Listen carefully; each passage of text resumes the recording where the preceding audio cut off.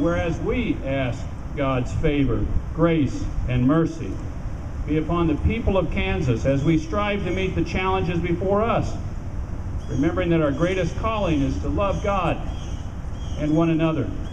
Now, therefore, I, Sam Brownback, Governor of the state of Kansas, do hereby proclaim May 3rd, 2012, as a day of prayer in Kansas,